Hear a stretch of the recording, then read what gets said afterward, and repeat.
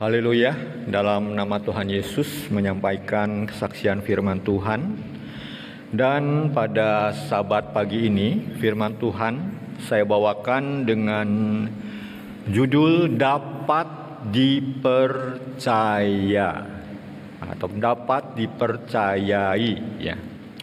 Baik kita akan bersama-sama membuka firman Tuhan kita di dalam kitab 1 Korintus pasal yang keempat 1 Korintus pasal yang keempat ayat yang kedua. 1 Korintus pasal 4 ayat yang kedua. Demikianlah bunyi firman Tuhan. Yang akhirnya Dituntut dari pelayan-pelayan yang demikian ialah bahwa mereka ternyata dapat dipercayai. Bahwa mereka ternyata dapat dipercayai. Ya.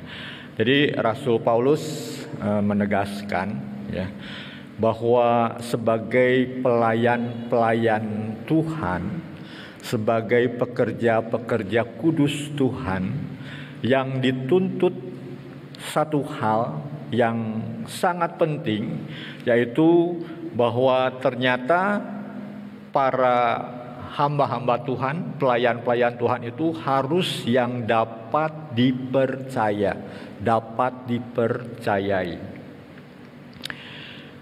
Suatu kali mertua Musa, Yitro, datang mengunjungi Musa.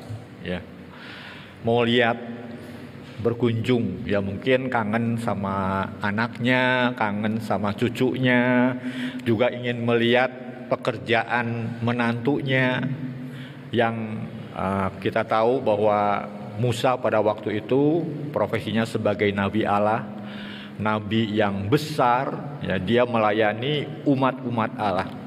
Namun apa yang dilihat oleh Yitro pada waktu itu ya. Kita akan bersama-sama membuka kitab Keluaran pasal yang ke-18.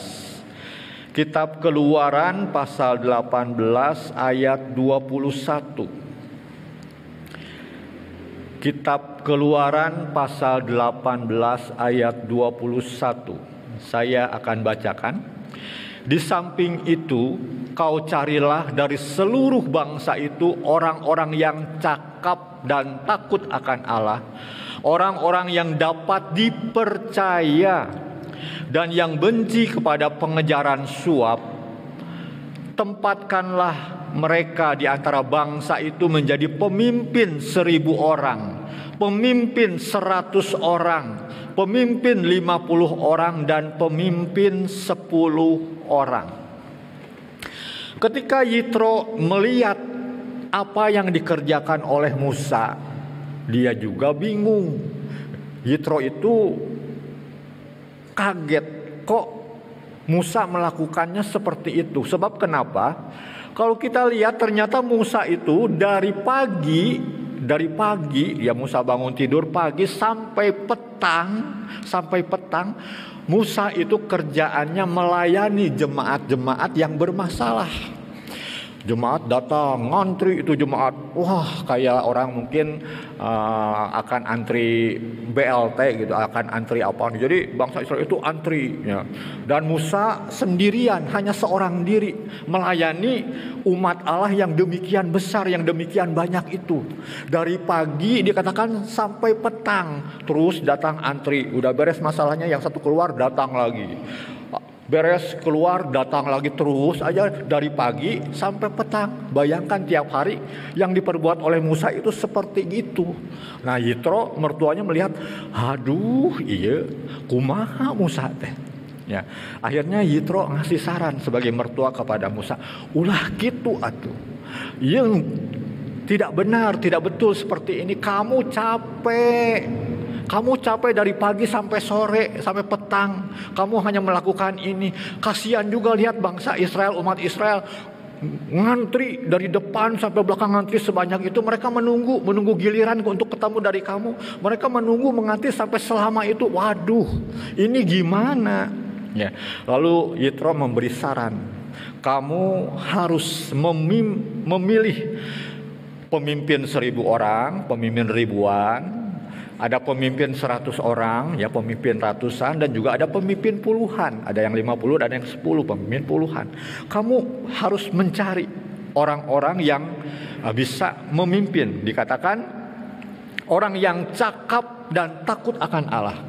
Dan kemudian Jangan lupa orang yang dapat dipercayai dan juga benci kepada pengejaran suap. Ya. Lalu tempatkanlah mereka di antara bangsa itu menjadi pemimpin seribu orang, pemimpin seratus orang, pemimpin lima puluh orang, dan pemimpin sepuluh orang. Nah kamu harus bisa belajar untuk uh, mempercayakan kepada orang lain pekerjaanmu itu. Ya, akhirnya uh, Musa nurut Ya, setelah nurut akhirnya ya Musa mendapatkan satu kelegaan, mendapatkan satu keringanan yang kemarin kerjanya dari pagi sampai petang terus ya. itu itu uh, bangsa Israel ngantri untuk uh, datang yang bermasalah menemui Musa. Semua semuanya diselesaikan oleh Musa. Nah sekarang bagi-bagi tugas, bagi tugas. Ya, yang pemimpin seribu orang, ya mungkin yang yang rada-rada uh, uh, cakap ya dia memimpin seribu orang. Kemudian ada yang memimpin ratusan orang pemimpin seratus orang ada yang memimpin lima puluh orang ada yang memimpin sepuluh orang. Ya akhirnya ya dengan uh, diangkatnya pemimpin-pemimpin baru baru Musa mendapatkan suatu kelegaan. Ya jadi di sini kita lihat namun ada satu hal yang ditekankan oleh Yitro kepada Musa untuk mengangkat pemimpin-pemimpin itu ingat ya harus orang yang dapat dipercaya. Tidak boleh memberikan sembarangan sembarangan mengangkat pemimpin. Tidak boleh sembarangan mengangkat orang ya. Harus orang yang dapat dipercaya. Ya. Kenapa? Ya, mengapa hal itu seperti itu? Ya, kita tahu uh, yang dimaksud oleh itu itu yaitu itu adalah dalam pekerjaan. Ya. Demikian juga dalam perkara-perkara lain, dalam hubungan pun sama. Ya, kita harus menjadi orang yang dapat dipercaya.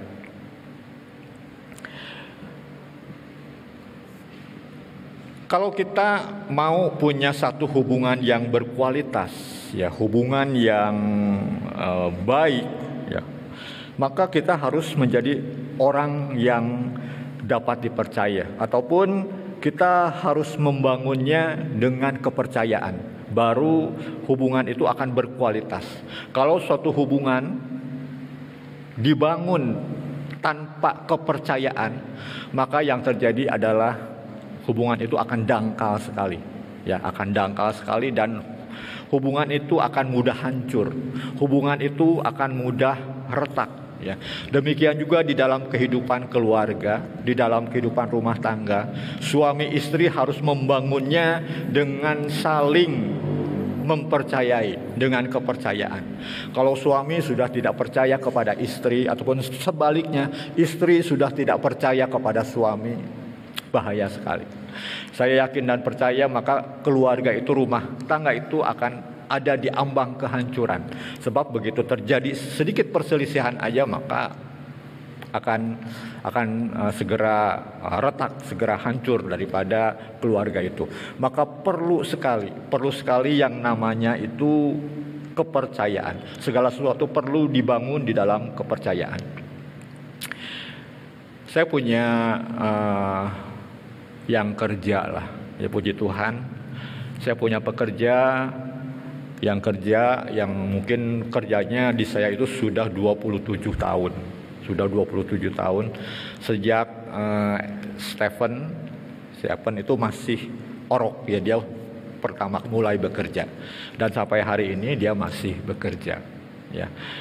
Nah, puji Tuhan ya kita tahu siapa uh, yang kerja dengan saya itu. Ya. Dia orangnya bagaimana, pribadinya bagaimana, kejujurannya bagaimana kita tahu. ya kita tahu sehingga kita bisa memberikan kepercayaan kepada dia. Puji syukur pada Tuhan tiap hari ya kalau saya kerja istri saya ke toko ya sering kali rumah saya itu kosong ya cuman dia sendiri di rumah dan karena saya percaya kepada dia selama dia sendirian di rumah tidak ada satupun kamar kami yang kami kunci tidak ada satu kamar pun yang dikunci. Tidak ada satu lemari yang kami kunci. Semua terbuka, semua terbuka. Sebab kenapa? Saya percaya kepada dia. Ya. Sebab kenapa saya bisa percaya kepada dia? Sebab selama dia bekerja 27 tahun, dia membangun membangun kepercayaan kepada uh, kita ya majikannya ya. Jadi uh, selama dia bekerja ya dia tidak tidak berani melakukan hal-hal yang macam-macam. Ya, dia memegang kepercayaan yang kita berikan dengan baik. Tentu saja pada awal pertama kali dia bekerja kita tidak langsung memberikan kepercayaan kepada dia seperti itu. Ya sebab kita belum tahu, belum kenal. Tapi setelah kita hari-hari kita amati setahun, dua tahun, dua sepuluh tahun dan bertahun-tahun, oh ternyata dia orangnya jujur, ya dia orangnya baik, dia bisa dipercaya sehingga karena dia bisa dipercaya, maka saya ya sekeluarga bisa mempercayakan apa yang ada di dalam uh, rumah saya kepada dia. Yang kita tidak tidak khawatir lagi, kita tidak takut lagi, tidak tidak was-was lagi ketika kita ada uh, di luar kota, ketika ada uh, di luar rumah jauh meninggalkan rumah sendiri ya dalam keadaan seperti itu. Sebab kenapa? Ya kita percaya Ya, kita percaya. Ya, dia sudah membangun kepercayaan selama 27 tahun dan dia tidak uh, melakukan hal-hal yang aneh-aneh. Suatu kali ya ketika saya di toko, saya melihat seberang rumah saya ada pekerjaannya yang saya pikir saya lihat oh ini tidak jujur. Waduh cilaka nih kasihan. Ya, dia melakukan uh, transaksi yang tidak diketahui oleh uh, majikannya secara sembunyi-sembunyi menjual barang-barang majikannya secara sembunyi-sembunyi. Kemudian karena saya kasihan, ya, saya kasih tahu kepada bosnya. Saya lihat karyawan kamu melakukan hal seperti itu, ya. Menjual barang kamu tanpa sepengetahuan kamu, ya, di bawah tangan sembunyi-sembunyi. Lalu apa kata kata bosnya? Oh nggak mungkin, dia sudah ikut dengan saya lama sekali, udah puluhan tahun, udah wah udah bekerja dengan saya itu udah lama, nggak mungkin saya saya nggak mungkin. Ya udahlah, mudah-mudahan saya salah lihat. Yang mudah-mudahan itu seperti apa kata kamu tidak mungkin. Yang mudah-mudahan seperti itu. Tapi puji Tuhan setidaknya apa yang saya katakan itu menjadi warning buat dia, menjadi perhatian walaupun dalam hatinya dia tidak percaya sebenarnya karena dia karena dia sudah merasakan dia itu sudah hidup bersama dia udah lama sekali. Tapi suatu saat ternyata dia tertangkap tangan, tertangkap basah. Waduh, ternyata uh, si ya dia, dia itu baru sadar apa yang saya katakan itu ternyata benar dan ketika dikoreksi-koreksi ternyata wah dia sudah lama melakukan itu dan akhirnya Ya tadinya si bosnya yang menaruh kepercayaan yang tinggi kepada dia, dia mengatakan tidak mungkin, tapi karena dia melakukan suatu perkara yang salah, gagal, maka pada waktu itulah kepercayaannya itu hancur, kepercayaannya itu hilang, dan pada saat itu juga dia sudah tidak percaya lagi kepada orang yang yang tadinya dianggap oh nggak mungkin, udah lama dia ikut dengan saya, dia orangnya baik, dia orangnya setia, langsung hancur dan dia langsung pecat karyawan itu. Nah, jadi di sini kita lihat uh, betapa penting yang namanya kepercayaan itu. Ya, kalau kita bisa menjadi orang yang dipercaya, maka kita akan uh, menjadi orang yang uh, beruntung ya, orang yang bahagia ya. Kita lihat Amsal pasal 28 ayat 20. Amsal pasal 28 ayat yang ke-20.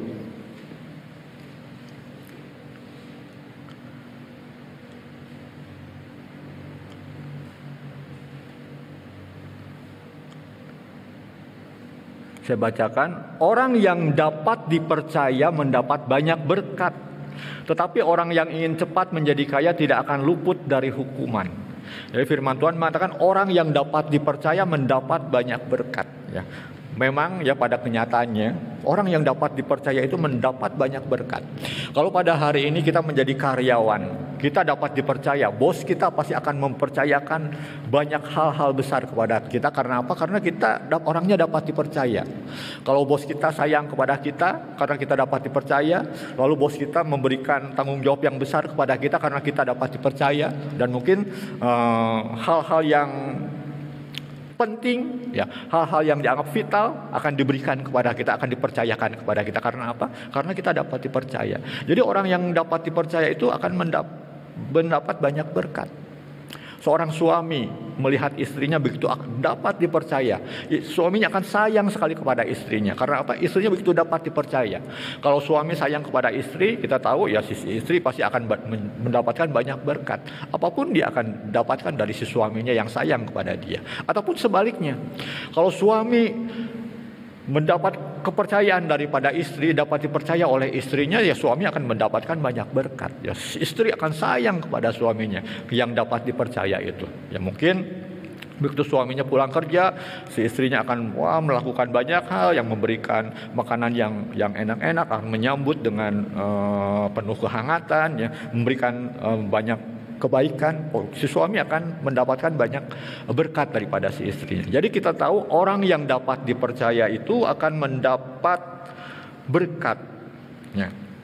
Maka oleh sebab itu ya kepercayaan itu sangat mahal, tidak dapat dinilai dengan uang.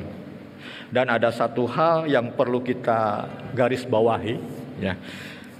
Tidak ada seorang pun yang mau membangun hubungan akrab, hubungan dekat, dan hubungan berkualitas dengan orang yang tidak dapat dipercaya. Ya. Jadi kalau pada hari ini Bapak Ibu ingin membangun suatu hubungan akrab, hubungan berkualitas, ya hubungan yang begitu dekat sekali, hubungan yang begitu baik ya dengan dengan dengan orang lain, tentu kita akan mencari siapa orang yang mau kita bangun hubungan yang seperti itu apakah orangnya dapat dipercaya atau enggak. Kalau kita tahu orangnya nggak dapat dipercaya, mana mau kita membangun hubungan yang seperti itu. Ya, kita mau membangun hubungan yang akrab, membangun hubungan yang dekat dengan sahabat-sahabat kita. Karena apa? Karena sahabat-sahabat kita itu adalah orang yang dapat dipercaya. Kalau sahabat kita tidak dapat dipercaya, maka kita akan membuang. Nggak mau aku bersahabat lagi dengan kamu. Kamu orang yang tidak dapat dipercaya. Ya. Kenapa pada hari ini kita punya sahabat? Karena kita menganggap di dalam hidup kita bahwa sahabat kita itu adalah orang yang dapat dipercaya. Sehingga kita mau menjalin hubungan yang dekat. Sehingga kita katakan dia sahabat saya. Nah jadi sekali lagi ya tidak ada seorang pun yang mau membangun hubungan yang akrab, dekat dan berkualitas dengan orang yang tidak dapat dipercaya. Ya demikian juga di dalam gereja kerjasama tim dalam pelayanan, ya kerjasama dalam uh, pekerjaan Tuhan, ya akan terbangun dengan baik, ya ketika ada kepercayaan di, di dalam uh, tim itu, ya di tengah-tengah tim itu. Nah jadi kalau di dalam uh, tim pelayanan, jadi dalam tim kepengurusan itu yang namanya kepercayaan itu harus ada, yang namanya saling percaya itu harus ada. Ya. Kalau kita tidak saling mempercayai, waduh, itu akan bahaya sekali. Ya. Jadi harus ada saling kepercayaan dan untuk itu, maka kita harus menjadi orang orang yang bisa dipercaya di dalam tim itu. Jangan menjadi orang yang tidak bisa dipercaya di dalam tim itu. Jadi tim itu akan berkualitas, akan menjadi baik kalau orang-orangnya adalah orang-orang yang dapat dipercaya. Tapi kalau orang-orangnya ataupun kita menjadi orang yang tidak dapat dipercaya, maka tim itu akan akan tidak baik, ya. Kita akan lihat satu contoh ya bagaimana menjadi orang yang dapat dipercaya. Dalam 1 Samuel pasal yang ke-18 ayat yang keempat.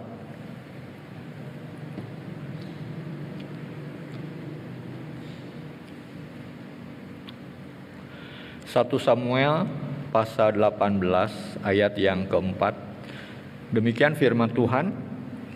Yonatan menanggalkan jubah yang dipakainya dan memberikannya kepada Daud juga baju perangnya sampai pedangnya, panahnya dan ikat pinggangnya. Ya. Kita tahu uh, Yonatan dan Daud menjalin suatu persahabatan yang sangat luar biasa sekali. Persahabatan yang begitu amat akrab sekali. Nah, kenapa persahabatan itu bisa terjalin sedemikian hebat ya, sedemikian akrab, sedemikian dekat ya. Menjadi persahabatan antara Yonatan dan Daud itu. Karena apa? Karena di sini dikatakan bahwa Daud dapat dipercaya. Dan demikian juga Yonatan dapat dipercaya. Mereka saling saling mempercayai. Sehingga dikatakan pada ayat yang keempat, Yonatan menam, menanggalkan jubah yang dipakainya. Siapa Yonatan? Yonatan itu adalah putra mahkota. Dia putra raja. Jubah yang dipakainya adalah jubah pangeran, bukan jubah biasa. Itu adalah jubah kebesaran, jubah anak raja. Jubah itu menunjukkan bahwa ini aku anak raja. Sebentar lagi kalau raja pensiun ataupun raja meninggal, aku, akulah penggantinya. Itulah jubah, jubah anak raja, jubah pangeran. Tapi apa yang dilakukan oleh Yonatan? Yonatan menanggalkan jubah yang dipakainya itu, jubah kebesarannya itu, dan memberikannya kepada Daud. Bukan hanya jubahnya, baju perangnya, sampai pedangnya, panahnya dan juga ikat pinggangnya semua diberikan kepada Daud. Apa maksudnya? Maksudnya tidak lain bahwa Yonatan ingin mengatakan kepada Daud, Daud, aku percaya sama kamu. Aku sangat percaya kepada kamu. Nih, jabatan pangeran, ya anak raja, aku serahkan kepada engkau. Kenapa Yonatan percaya kepada Daud seperti itu? Sebab Yonatan tahu siapa Daud. Sehingga ya dari apa yang dilakukan ini seolah-olah Yonatan mengatakan nanti kalau papahku meninggal kamu ya yang menggantikan papahku menjadi raja. Nih jubahnya kamu pakai. Ya. Kenapa Yonatan mau menyerahkan uh, uh, kekuasaan ataupun jabatan yang begitu tinggi, yang begitu mulia kepada Daud? Sebab dia tahu, dia percaya kepada Daud bahwa Daud orangnya baik. Daud orangnya bisa dipercaya bisa dipercayai. Sehingga kalau Daud memegang jabatan itu, maka dia uh, bangsanya akan menjadi baik, akan jauh lebih baik lagi. Yonatan bisa menyerahkan semuanya kepada seorang Daud. Nah, jadi di sini kita lihat betapa pentingnya kita dapat dipercaya. Ketika kita dapat dipercaya, maka orang akan mempercayakan kepada kita dengan wah, tidak tidak takut lagi, tidak khawatir lagi seperti Yonatan. Jadi pekerjaan-pekerjaan besar akan diberikan kepada orang-orang yang dapat dipercaya. Nah, jadi kita uh, tahu betapa pentingnya sekali menjadi orang yang dapat dipercaya. Kita lihat lagi 1 Samuel pasal 22 ayat 14. 1 Samuel pasal 22 ayat yang ke-14. Saya akan bacakan 1 Samuel pasal 22 ayat 14. Lalu Ahimelek menjawab raja, menjawab Saul kepada Saul, "Tetapi siapakah di antara segala pegawaimu yang dapat dipercaya seperti Daud? Apalagi yang menantu raja dan kepala para pegawaimu dan dihormati dalam rumahmu." Ahimelek membela Daud. Dia mengatakan, ya, siapa sih di antara segala pegawaimu, pegawai raja yang dapat dipercaya seperti Daud. Enggak ada. Daud orangnya dapat dipercaya. Daud orangnya baik. Daud orangnya wah Ahimelek membela Daud mati-matian. Dia dapat dipercaya sehingga uh, Ahimelek melindungi Daud dan ya berbuat seperti apa yang uh, Ahimelek lakukan kepada pada waktu itu kepada Daud. Ya. Jadi di sini kita lihat Daud seorang yang dapat dipercaya sehingga ya karena Daud seorang yang dapat dipercaya maka pekerjaan-pekerjaan besar diberikan kepada dia. Nah mungkin nah, sekarang kita tahu kita paham oh iya betapa penting sekali untuk menjadi orang yang dapat dipercaya ya. Lalu mungkin kita ber, berpikir waduh gimana ya Dulu saya pernah melakukan kesalahan, ya. Dulu saya pernah melakukan suatu hal yang mungkin uh, dianggap uh, tidak baik, ya. Mungkin kalau orang-orang melihat itu berarti mereka tidak akan menaruh kepercayaan kepada saya. Waduh, ini gimana ya? Nah, ada satu hal yang perlu uh, Bapak Ibu ketahui, ya memang menjadi orang yang bisa dipercaya itu uh, tidaklah mudah ya tidaklah mudah. Kita harus berjuang ya, kita harus bekerja ekstra untuk bisa menjadi orang yang dapat dipercaya. Kita menjadi orang yang dapat dipercaya itu tidak akan datang ujuk-ujuk langsung ujuk-ujuk wah si ini mau dapat dipercaya, ini dapat dipercaya, kamu tidak dapat dipercaya datang ujuk-ujuk seperti itu tidak.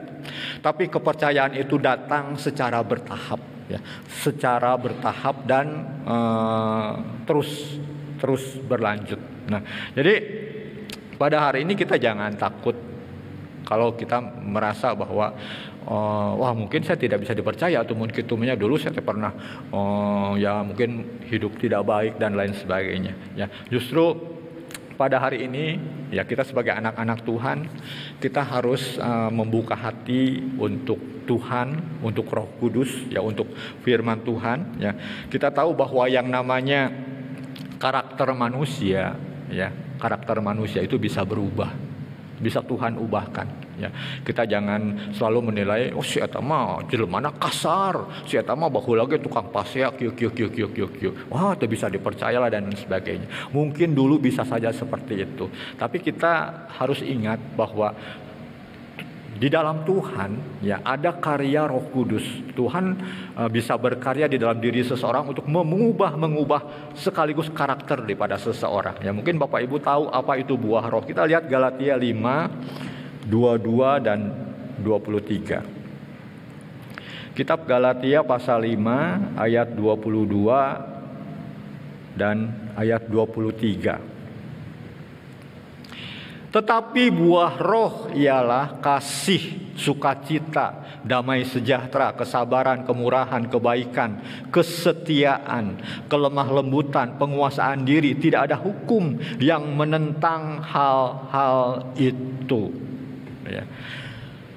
ya mungkin dulu ketika dia belum kenal Tuhan, ketika dia belum menerima Tuhan, ketika dia belum uh, ada roh Allah di dalam dirinya, dia bisa saja berbuat seperti itu. Ya, orang karakternya bisa seperti itu, bisa uh, tidak setia, ya, orangnya tidak sabar, ya, orangnya uh, pelit, ya, tidak punya kasih, ya, orangnya kasar, ya, tidak bisa menguasai diri. Tapi kita ingat, ya, seseorang yang Uh, memiliki Roh Kudus, maka dia akan menghasilkan buah roh. Ya. Apa itu buah roh? Tadi dikatakan ada kasih, sukacita, damai sejahtera, kesabaran, kemurahan, kebaikan, kesetiaan, kelemah lembutan, ataupun dalam kata lain Allah ataupun firman Tuhan mampu untuk mengubah karakter daripada seseorang. Ya, jadi kita jangan uh, selalu uh, pesimis, ah nggak mungkin lah dia mau orangnya kasar, Ah, dia mau orangnya pelit. Ya mungkin dulu dulu bisa seperti itu. Tapi kita yakin dan percaya ya, kuasa daripada Roh Kudus mampu untuk mengubah karakter seseorang ya, untuk mengubah uh, sikap daripada seseorang dan firman Tuhan juga punya kekuatan untuk membantu menolong orang itu untuk bisa menjadi lebih baik lagi. Nah, kita harus punya ya, uh, punya keyakinan seperti itu. Ya, jadi kita tidak selalu uh, menilai negatif akan orang lain. Ya, mungkin ya dulu dia bisa seperti itu. Tapi yang namanya manusia kan bisa berubah. Bukankah ada Roh Kudus Allah? Bukankah ada firman Allah yang punya kuasa untuk mengubah daripada kehidupan seseorang? Nah, jadi kita jangan uh, pasif. Ya mungkin dulu kita mungkin kita oh dulu saya hidupnya aduh bener hidupnya dulu uh, dalam kegelapan dan lain sebagainya dan lain sebagainya. Tapi ya mungkin Bapak Ibu juga Bapak Ibu juga sering mendengar kesaksian ya tidak sedikit orang-orang yang dulu kehidupannya gelap, dulu kehidupannya kelam. Rasul Paulus sendiri pun dulu kehidupannya bagaimana? Dia penganiaya daripada umat-umat Tuhan. Dia adalah seorang pembunuh, dia seorang yang menangkap orang-orang yang percaya kepada Tuhan. Itu kehidupan ataupun karakter Rasul Paulus dahulu. Tapi bagaimana setelah dia mengenal Tuhan Yesus, bagaimana setelah Roh Kudus mengubahkan seorang Rasul Paulus?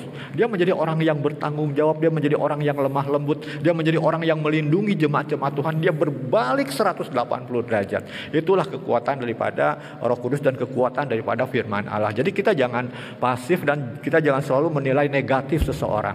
Dulu bisa saja berbuat seperti itu, tetapi di dalam Tuhan, ya Tuhan bisa mengubahkan semuanya bisa menjadi lebih baik lagi.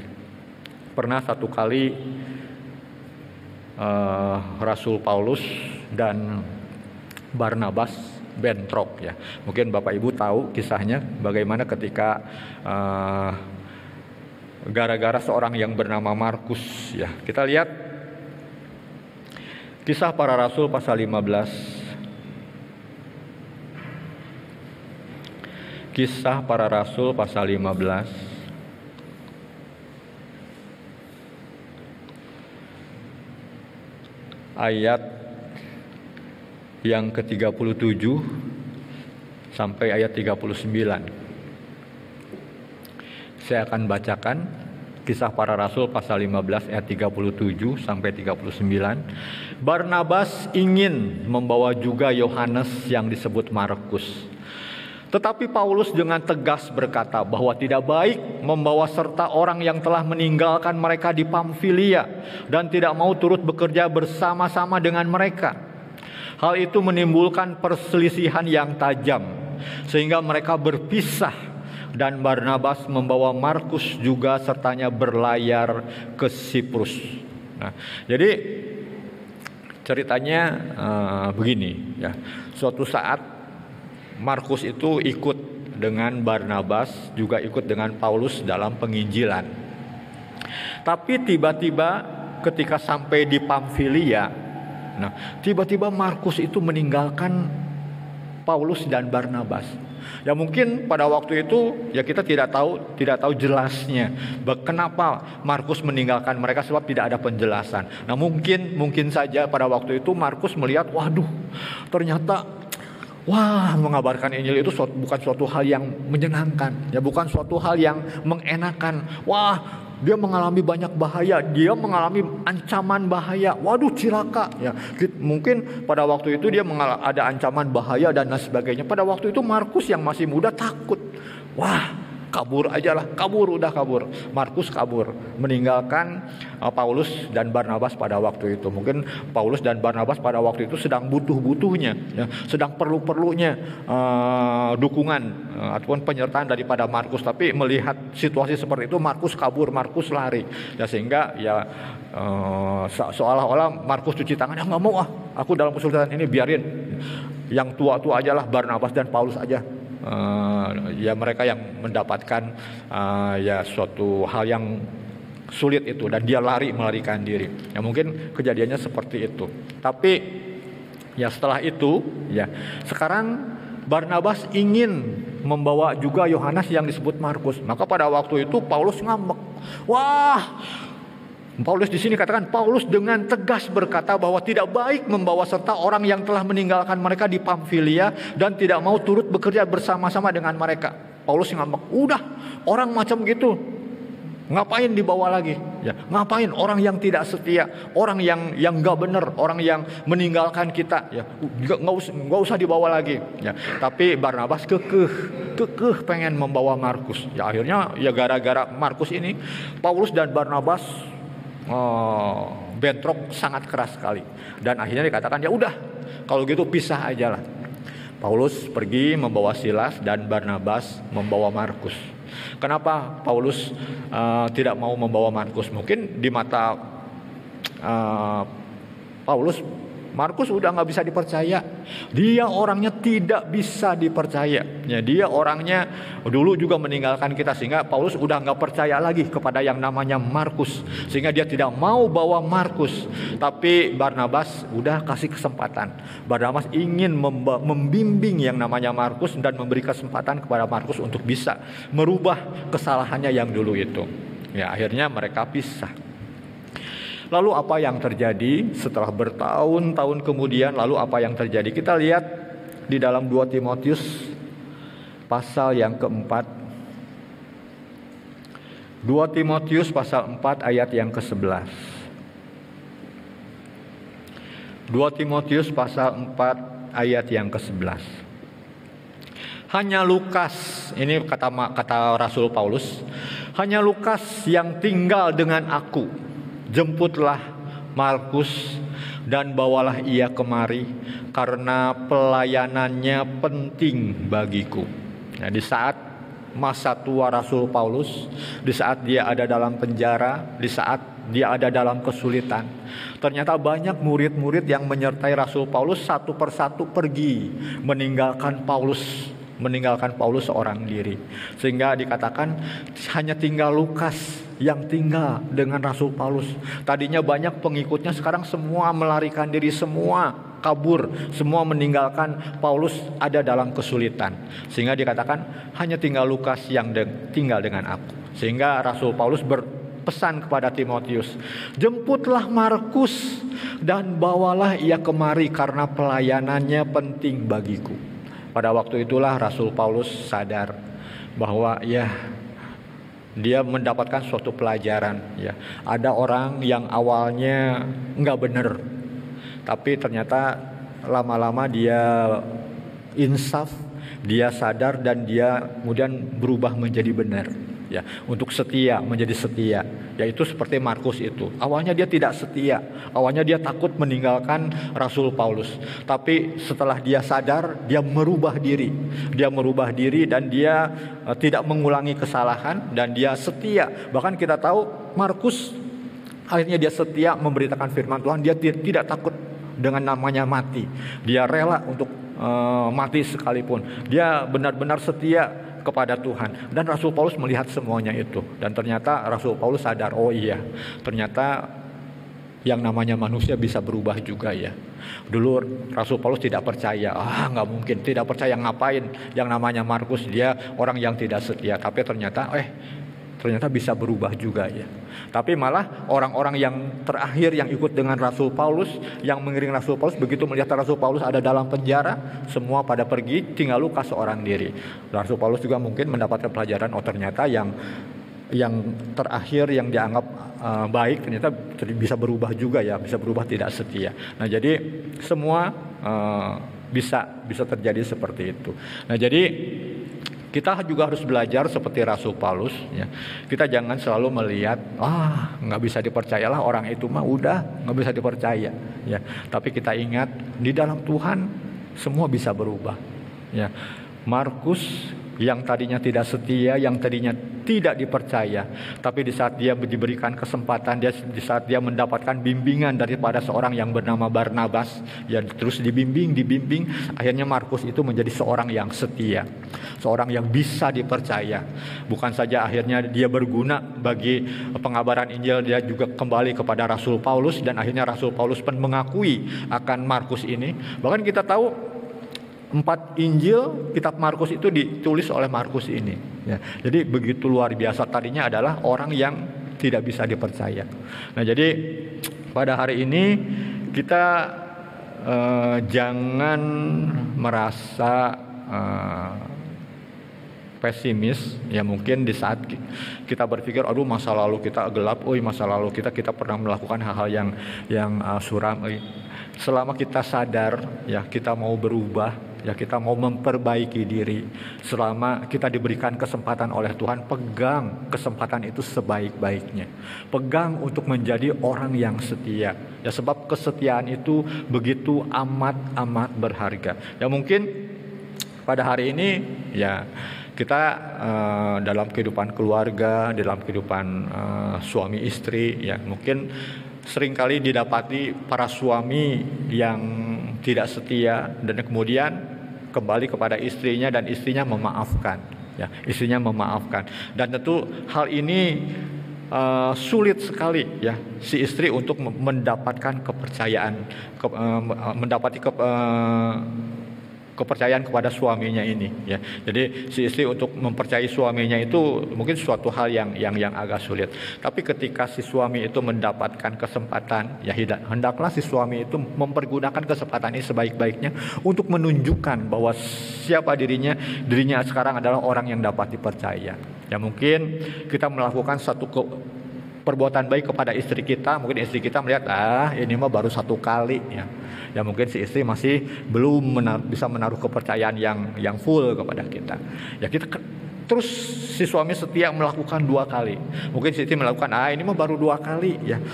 Mas aku masih belum bisa menaruh kepercayaan. Ya nggak apa-apa. Tapi si si suami tetap terus terus dan terus menunjukkan kesetiaannya, menunjukkan kebaikannya. Mungkin si istri melihat lima kali, enam kali, ah baru lima kali, enam kali. Namun setelah seratus kali, setelah seribu kali, maka saya yakin apa aja si istri tidak tidak akan mengatakan baru seratus kali, baru seribu kali.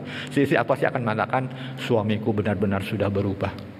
Dia sekarang menjadi orang yang setia, orang yang bisa dipercaya. Nah, jadi di sini kita bisa melihat ya bahwa kepercayaan itu suatu hal yang mahal. Kepercayaan itu adalah sesuatu yang harus diperjuangkan. Nah, jadi kalau pada hari ini kita sudah diberikan kepercayaan, jangan sia-siakan kepercayaan dan jangan nodai yang namanya kepercayaan ini. Ya.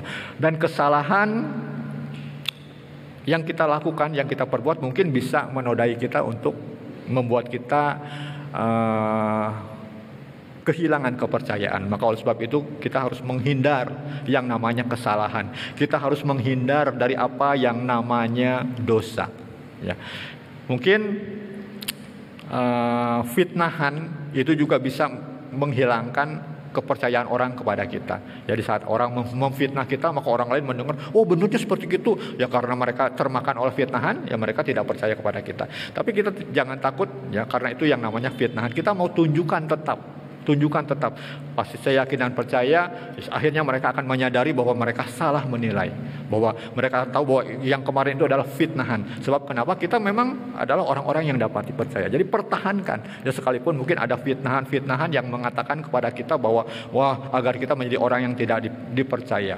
Ya. Jadi kita harus uh, tetap berada dalam jalur Tuhan dan ada lagi yang bisa menghilangkan kita daripada kepercayaan yaitu kalau kita tidak konsisten.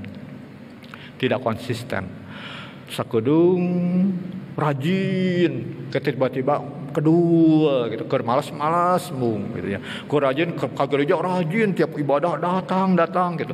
Ke kedul kedul, oh, oh setahun dua tahun lengit. Gitu.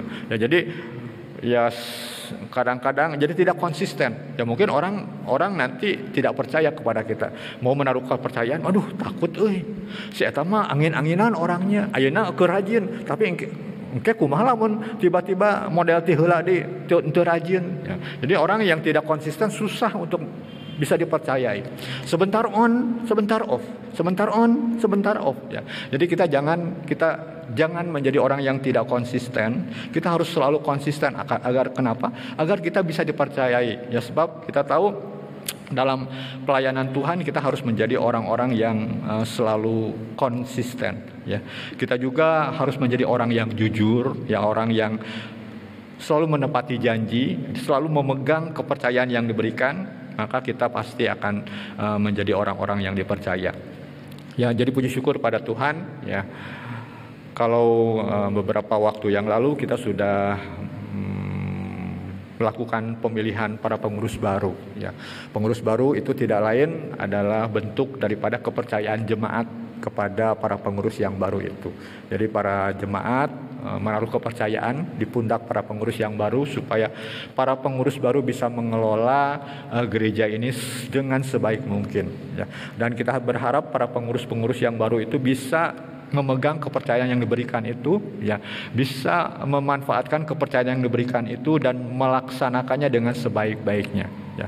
Kata orang Sunda kita harus menjadi pengurus yang amanah ya. Apa amanah itu? Jadi maksudnya apa yang uh, sudah diamanatkan oleh para jemaat diberikan kepada pundak kita kita mau kerjakan dengan sebaik-baiknya kepercayaan yang diberikan kita harus pegang dengan sebaik-baiknya jadi betapa mahal sekali kepercayaan itu dan biarlah uh, kita bisa memegangnya ya kita jangan menyia-nyiakannya dan kita jangan menodainya dan kita mau melakukannya dan melaksanakannya dengan sebaik-baiknya.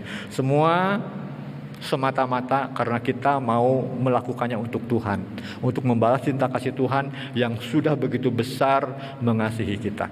Ya. Demikianlah firman Tuhan pada pagi hari ini, semoga boleh menjadi berkat buat kita semua.